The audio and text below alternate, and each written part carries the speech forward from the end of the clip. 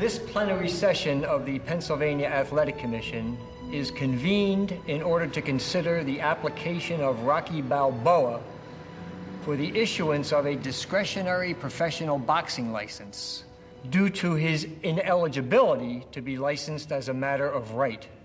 Mr. Balboa, you're welcome here. Since you're representing yourself, we invite you to make an opening statement if you'd like to. No, I was just curious how I did. That's all. All right, well, the Medical Advisory Board has informed us that the battery of tests to which you've been subjected, you've passed these tests with flying colors. And we congratulate you for that.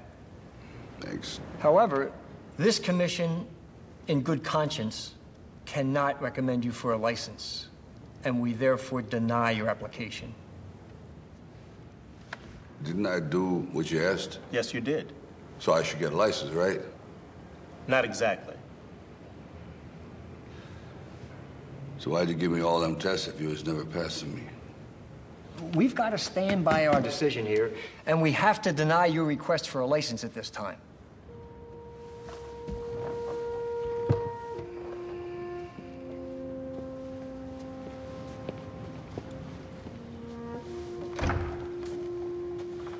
Yo, don't I got some rights? What rights do you think you're referring to? Rights, like in that official paper that they wrote down the street there? That's the Bill of Rights. Yeah, yeah, the Bill of Rights. Don't it say something about going after what makes you happy? No, that's the pursuit of happiness. But what's your point? My point is I'm pursuing something and nobody looks too happy about it.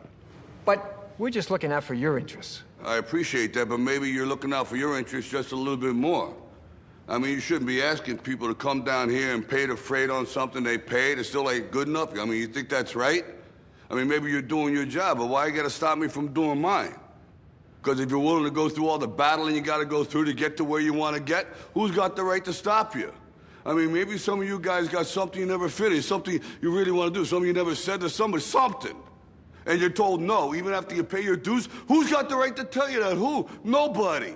It's your right to listen to your gut. It ain't nobody's right to say no after you earn the right to be where you want to be and do what you want to do. You know, the older I get, the more things I got to leave behind. That's life. The only thing I'm asking you guys to leave on the table is what's right.